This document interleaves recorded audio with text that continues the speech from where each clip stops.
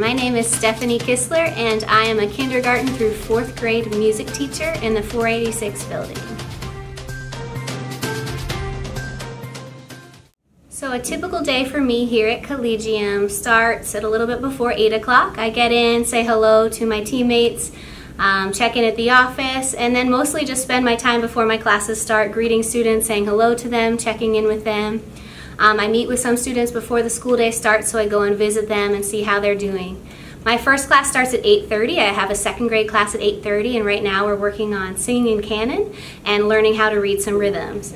Then right after that, I have my first fourth grade class of the day. And in fourth grade right now, we've been working on performing in four parts on xylophones all at the same time. It's pretty challenging, but the students really enjoy working at it, working together to be able to master putting all those different parts together.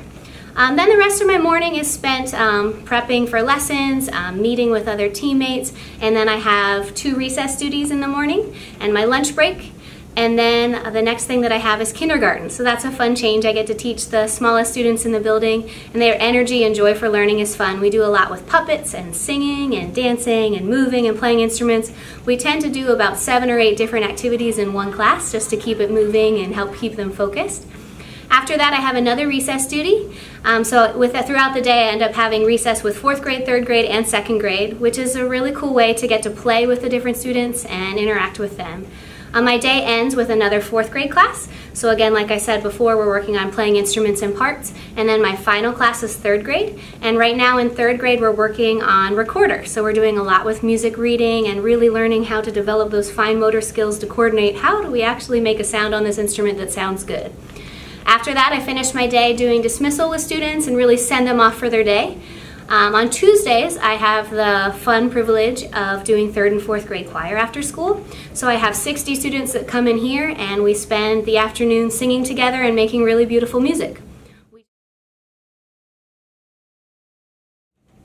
So the thing I love most about working here at Collegium is I really love my team. I have a really great group of special area teachers that I get to work with, and especially Denise right next door, she's the other music teacher in the building. We have a really fun time joking around, coming up with ideas so that we can come up with really engaging lessons for our students. So some interesting things about me. Uh, my students really enjoy finding out that I lived in Kenya for three years. So my husband and I were doing development work among the Maasai people. Um, and my daughters were born there. So they have Maasai names and they are Kenyan citizens, which is pretty cool. I also have a third child, my son Nathaniel. So between, with the, all five of us, we spend a lot of time together playing board games and hiking and being outside. But probably the most special thing I've gotten to do recently with my family is dancing together. My daughters are dancers and I'm a dancer. I was a competitive ballroom dancer in college, um, and we actually got to perform a dance together where there were six adults and six kids performing a dance for Christmas. So that was really special. So my employee spotlight was perfect. I had zero outtakes.